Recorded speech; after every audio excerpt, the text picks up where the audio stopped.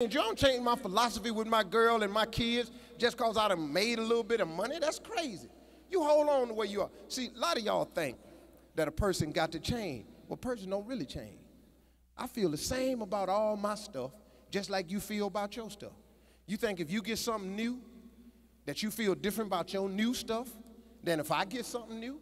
Damn it, it's all the same. I love getting new stuff. It's like, like I tell you what I think. I think everybody in this room done gone through the raggedy car stage.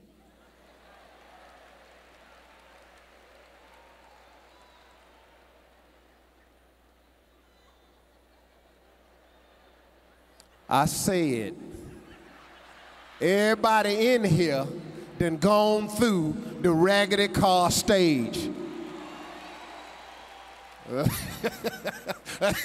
I see what's happening. Some of y'all ain't clapping because that motherfucker out in the parking lot.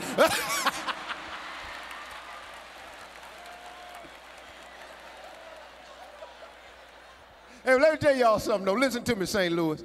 If you still got a ragged ass car, just hang in there. Because, see, the new car is coming. But it's a process you got to go through.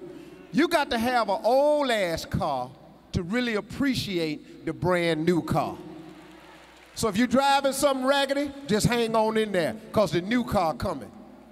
You think when you get a new car, you think you feel different about your new car than when I get a new car?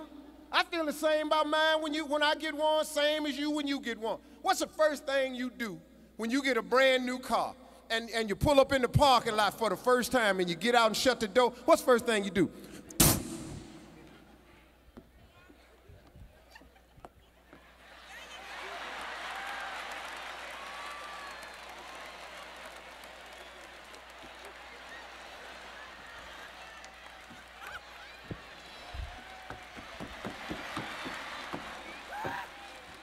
Then you be looking around to see who saw you get out of it.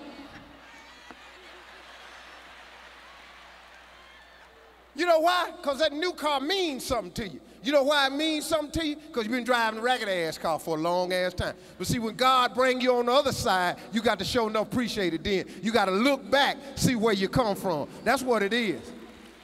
A lot of y'all sitting here trying to act like you don't know what I'm talking about. Trying to act like, yeah, your ass been in a nice car all your broke ass life. But no, no. Let me some of y'all can relate to what I'm about to say.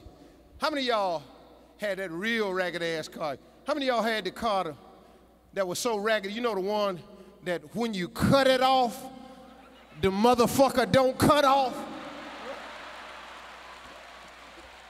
It's in the parking lot having a seizure. You try to walk away from it, act like it ain't yours.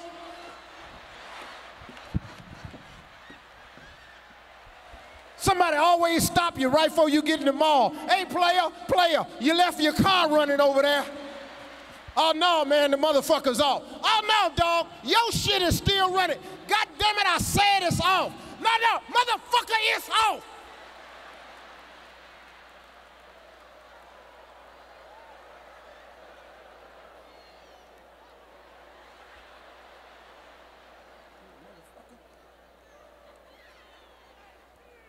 I had a car so raggedy one time, y'all. I gotta tell you this. I had a car so raggedy one time.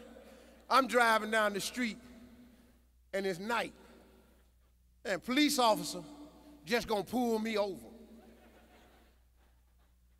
I'm thinking no reason at all.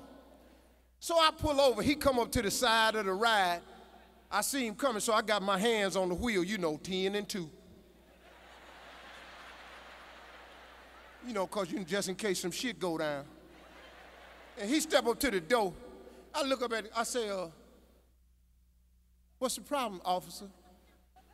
He said, I pulled you over because the tent on your window ain't legal. I said, excuse me?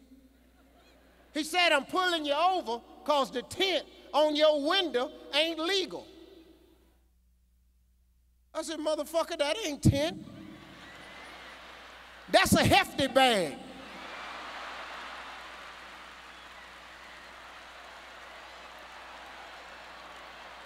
You see all that duct tape around that son of a bitch? Now, why would I duct tape up a goddamn window? And get your nightstick away from it before you fuck around, punch a hole in it.